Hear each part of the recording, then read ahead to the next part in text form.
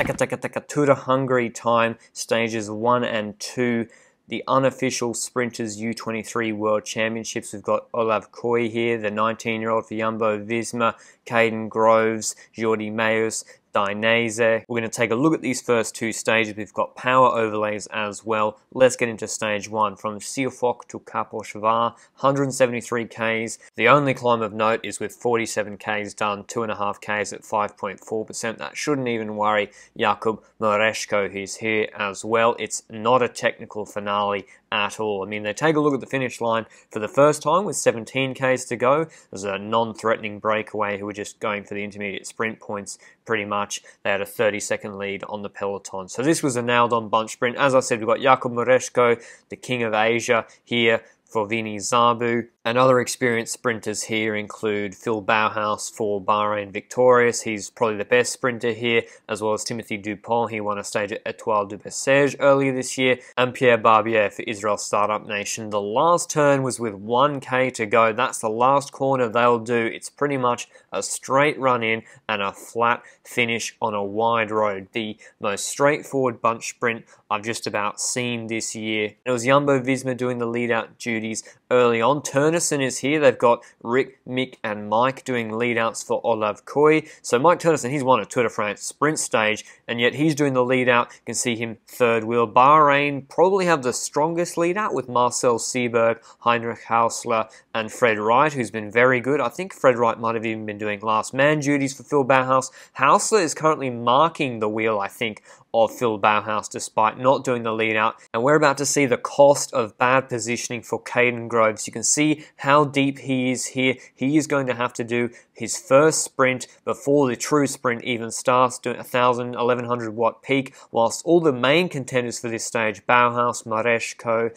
Kooij, Meeus, Dainese, are in this bunch in the first five wheels with 450 meters to go. So that's really going to cost Kaden Groves, and he's going to have to jump super early. You can't see it with this camera angle, but he's already jumping if you look at the power data on the left-hand side of the road, whilst Meeus is getting a lead out from turns, and this is going to be perfect for Phil Bauhaus. The right hand side of the road opens up. He's able to jump to the right of Barbier and Dupont, start his sprint later than pretty much everyone else, and Jakub Mareczko manages to surf his wheel to the line. So the more experienced sprinters had their way. Dupont, Mareczko, Bauhaus, and Pierre Barbier in this stage one, the most straightforward of the sprints. You can see here Olav Kooij kind of gets pinched by Mareczko on the left-hand side. That checks his action when he's pr probably trying to follow Bauhaus. I mean, Bauhaus was the wheel to follow, but because he moves to the right-hand side and Barbier loses his wheel, it's all over, and Bauhaus probably is the quickest man here anyway. Groves had been sprinting for far too long on the right-hand side, eating wind for over 200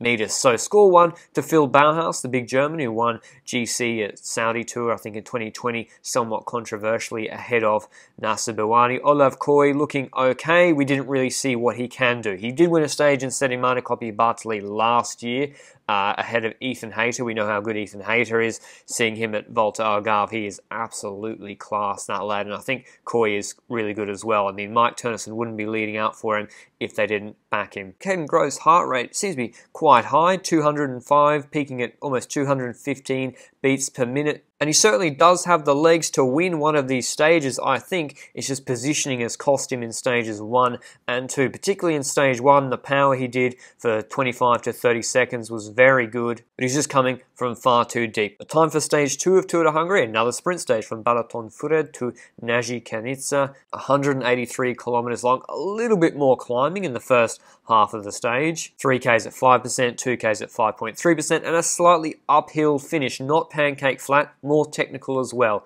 Three 90 degree turns through roundabouts in the last 1800 meters or so. It was raining at the start of the stage, just like it was on stage one. You can see Sieberg and Mareczko all rugged up as they're in the neutral zone. And let me know down below in the comments. Have you cycled through Hungary? I mean, I think the cycling culture is starting to build up there.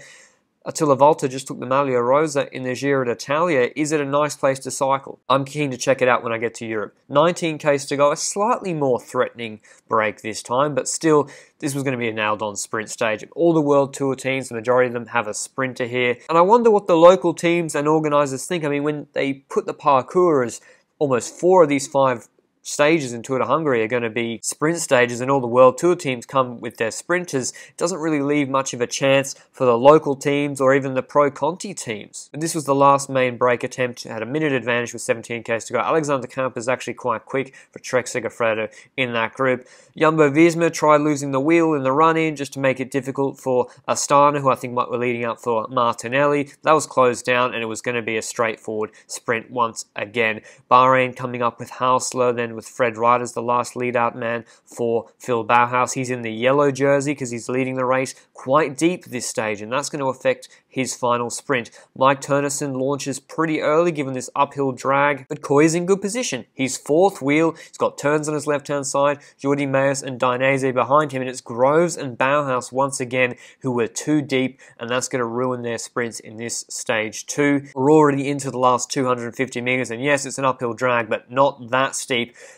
And Olav Kooij jumps a little bit early and to the right-hand side, the same time as Kaden Groves, whereas Jordi Meeus, just like Bauhaus on stage one, he's able to come out of the draft the latest, he's able to do his 5-second peak with 100, 125 meters to go, and clean up this stage with Dainese and Bauhaus launching late. We're going to need to look at the overhead to really see what happened in this stage, but a big win for the 22-year-old Jordi Meeus. But let's take a look at the overhead with about 400 meters to go. The last lead out man for Bauhaus pulls off. Actually, I can't see shit. I'm going to have to zoom this in. Sorry. You can see Meeus fourth wheel with the option to either follow the Trek rider on the left-hand side or Olav Kooij to the right-hand side. Dupont is on his left. Meeus is going to beat him to the Trek rider's wheel. And you see Bauhaus in this yellow jersey with Groves. They're very, very deep once again, and Dupont's not going to be quick enough to follow Meeus' wheel. Kooij is going to jump to the right-hand side quite early, and he gets significant separation from the group. He's going much quicker than turns. The problem is he runs out of steam, and Meeus is able to start sprinting at this point when Kooij's already been sprinting for four to five seconds. Hits the front at the perfect time, and Bauhaus was blocked on the right-hand side. He was probably the quickest coming late. So victory now for the under 23 riders in stage 2 and they had four of the top 5 riders in this stage. Kooij, Dainese, Meeus and Kaden Groves. And Jordi Meeus is a big lad. He's not able to do sort of the hilly, climby, sprinty stages.